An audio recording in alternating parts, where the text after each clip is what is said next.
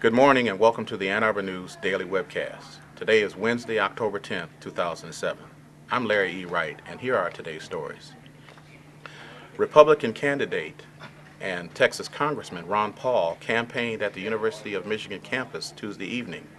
After his speech to students, he shook hands and signed posters and other items, including a $10 bill produced by Andrew Schoen, a self-described liberal, who says he likes Paul's activism of peace.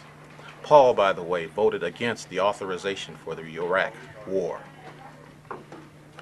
United Auto Workers negotiations with the Chrysler representatives continued through the night and early this morning, just hours before the 11 o'clock deadline imposed by the union to reach a tentative agreement.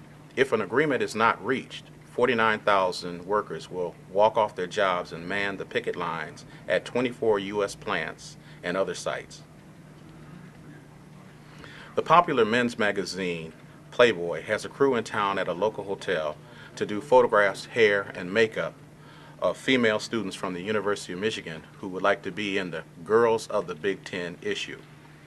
Photographer Kim Manuzzo and crew will select at least one student for the spread which will feature students from each Big Ten university in varying degrees of undress, ranging from bikini clad to fully nude. You can watch a video of an interview with a student on our website. This issue will be out later this fall. You can see these stories and more at the Ann Arbor News Breaking News blog at mlive.com and in today's Ann Arbor News.